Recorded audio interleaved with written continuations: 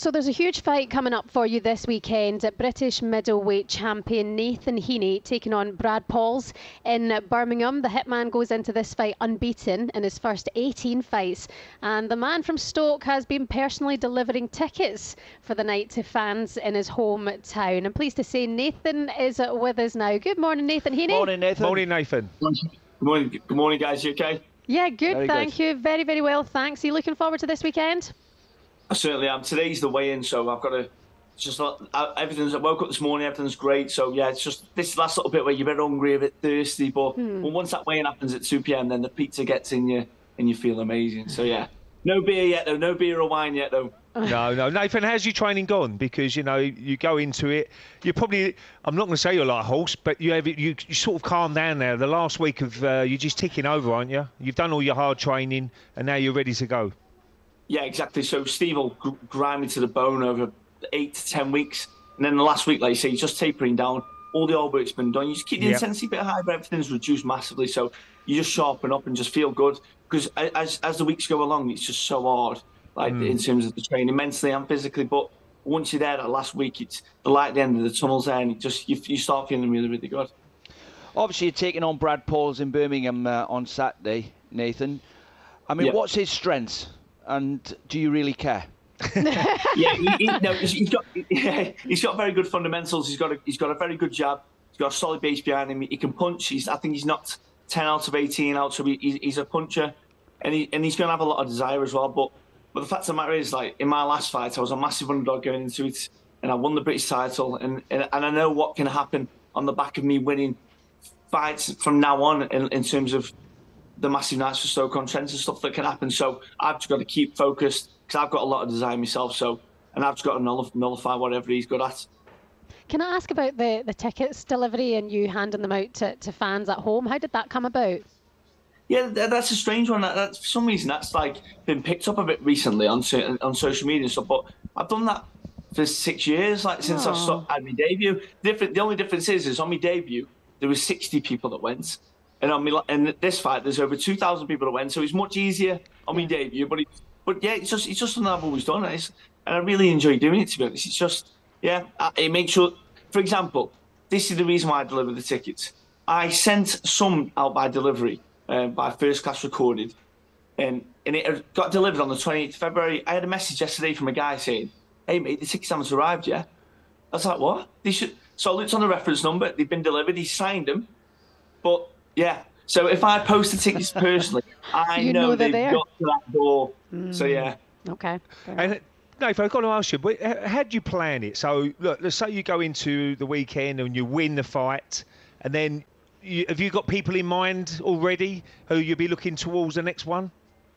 Yeah, usually it just depends on some of the time frame between fights. But if you've you've got a four, let's say a three to four month window between fights, I'd have a week off. Yeah. So I'll have a bottle of wine, bit of food, a bit of that, and then and then it's straight back in. Then, but the intensity is not as high. So you just steadily, you just keep it as steady, but you just don't want to lose any fitness that you gained in those previous weeks that you've been grafting. Nathan, there's, there's lots of uh, talking points of the boxing at the minute. I was just wondering your thoughts on obviously Jake Paul's going to be fighting Mike Tyson in Los Angeles. What do you make of that? Yeah, for me, I, I'm just hoping that this kind of YouTuber, although, although to be fair to the lad, he is more legit in terms of some of the fights he's fighting in shape for. But but this whole influencer YouTube thing, the, the quicker that dies down, the better because it does not benefit boxing. Trust me, it, it only alienates the hardcore supporters. And when these YouTubers and stuff disappear, which they will do in the very near future, the whole cro- crowd that came with them will also disappear, but the hardcore will will be gone. So you don't want to alienate the hardcore people that love boxing, in my opinion. That is. Yeah. Nathan, we know you're a massive Stoke fan, as we can see, even your shirt behind you. That bottom of the table in the championship is amazing, isn't it? I mean, they've, they've really picked up. And Stoke were in that bottom three for, for a small uh, time, but they've managed to get themselves out of it now. But it's going to be so competitive to come the end of the season. And you've got a massive, another massive game this weekend against Norwich. Yeah, it's unreal. It's um, I mean, three weeks ago I was I was fearing the worst. I was thinking I just can't see how we're going to get out of this. But the lads have really gri- they've grafted.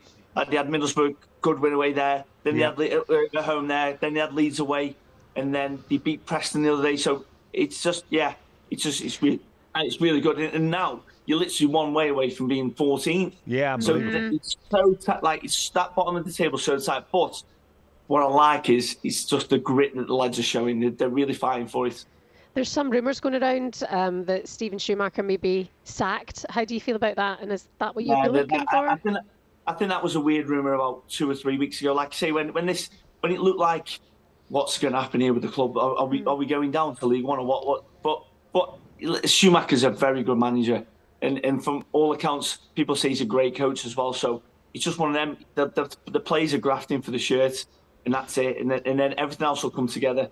Then if he's got time to do something in transfer window at the end of the season, he can then put his own mark onto the squad because it was a brand new squad at the start of the season that was made by Alex Neil, and there was some there's there were some gems in that squad like Jono and Burger and stuff. And but but other than that, he just yeah he wants to put his mark on the team.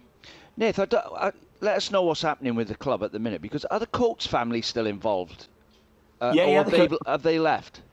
No, they're, they're, still like John Coates still the C, like the, the the main man at the club and, and stuff and running it. So, they- like, listen, all, all like transfers and stuff aside, they're still a fan, they're, they're fantastic what they do for the city in terms and the club as well. Like they do. Now, listen, this doesn't. You can't say, "Oh, poor results. Oh, we get free away travel." But that's good because even though the results are bad, but they do. They like the, the tickets. The season tickets have been frozen since the Premier League for like the last 12, 12 years. Something ridiculous. Like, do you know what I mean? It's like it's they, they've been very good to the people of Stoke, but obviously it's just we want the results now. yeah.